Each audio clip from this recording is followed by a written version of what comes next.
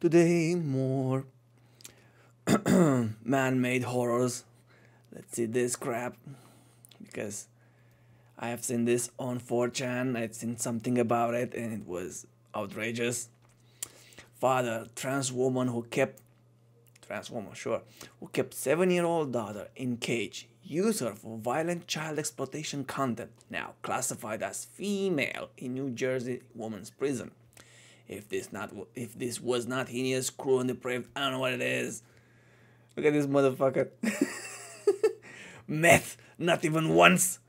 Oh, a trans-identified male who was sentenced to 25 years in prison. How about the electric chair for this?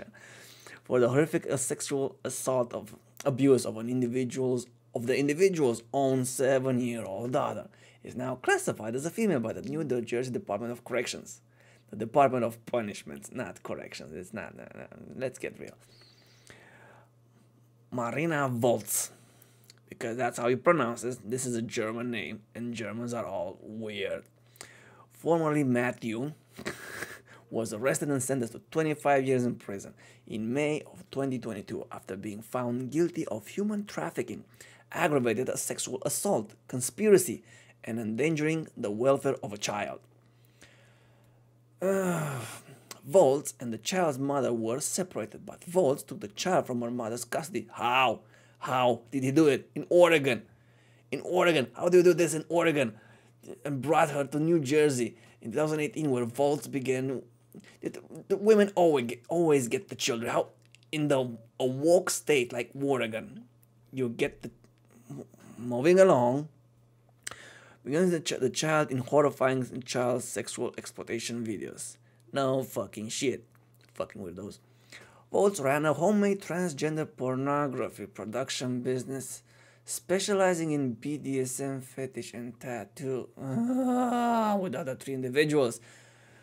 The depraved child sexual exploitation scheme was launched just one year after the trans-identified pedophile served as the president of the Clark College Queer Association in Vancouver. What?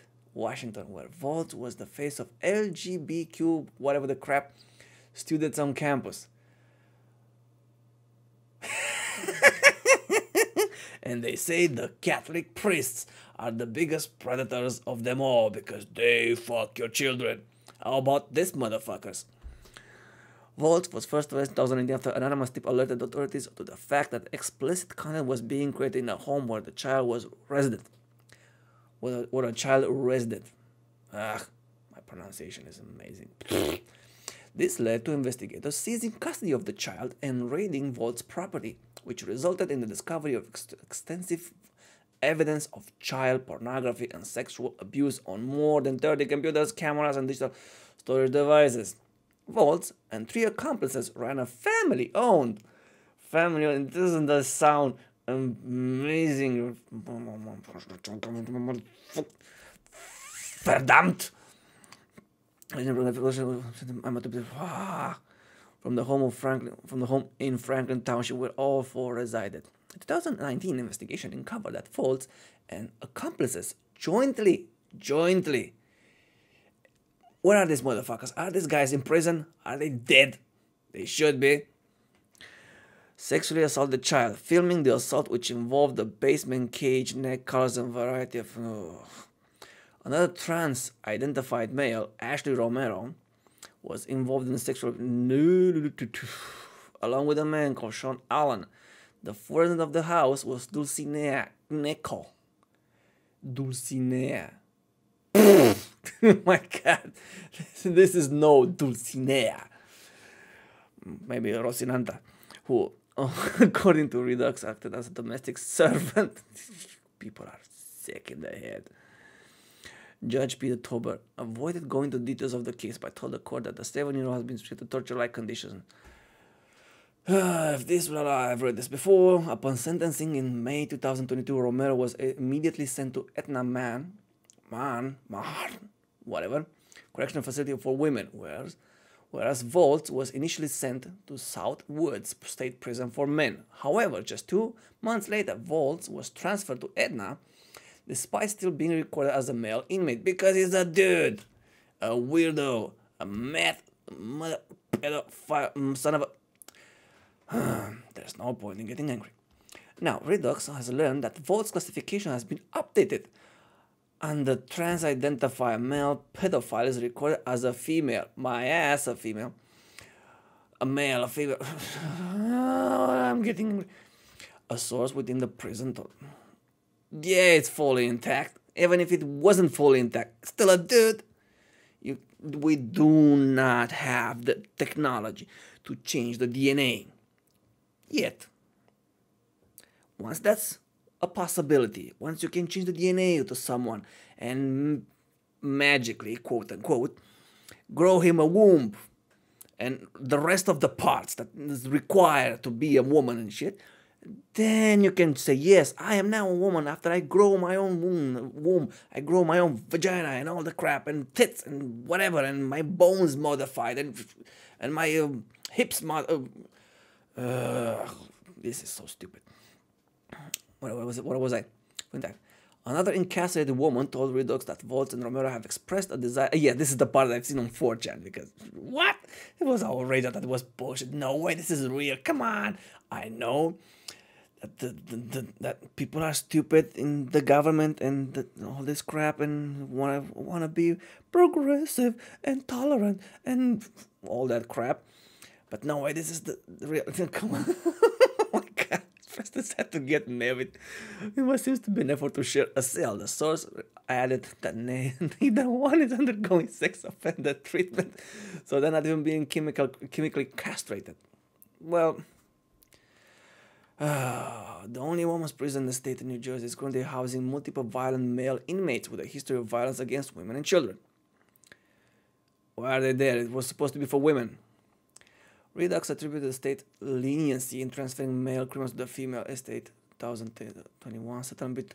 Ah, there was a settlement between American Civil Liberty ACLU, the one of the biggest scams I've ever seen in the world. ACLU, go fuck yourselves. This is a scam just like ADL, a scam. Ponzi scheme designed to steal your money and pretend that they are something important when they are not. And people, because people are fucking morons, they give them power which they do not deserve. Ugh. The New Jersey Department of Corrections, which requires the trans-identified inmates be housed according to the self-declared gender. What if I'm a potato as a gender? What was it uh, back the, in the old days when you know when the internet was a bit more wild. Uh, Apache helicopter as a gender. Stupid shit. Last year, Reduxx spoke to multiple female inmates at the facility who told who told of the fear and anxiety. Uh, fuck, you're in prison. Suffer. The result of being locked with a trans-identified male. Oh my god, I'm gonna get raped. Men get raped in the other prisons all the time. And no one cares. But you you, we should care about you. No, if you don't care about the dudes getting fucked in the ass in prisons, we're not gonna care about you getting fucked in the prison. Fuck off. You have no rights. You are in prison. Suffer.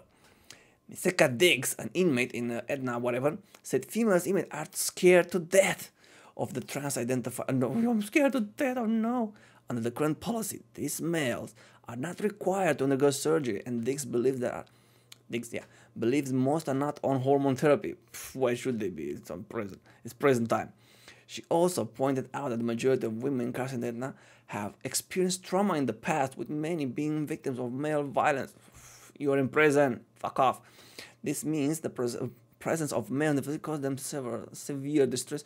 Oh my god, women most affected. Go fuck yourself. According to Diggs, women who complain of feeling unsafe are placed in protective custody. So lockdown. We can't express our feelings in fear of being put in protective custody. Just like lock up. Okay, this motherfucker should be shot because he is raping children. At least one child. His own.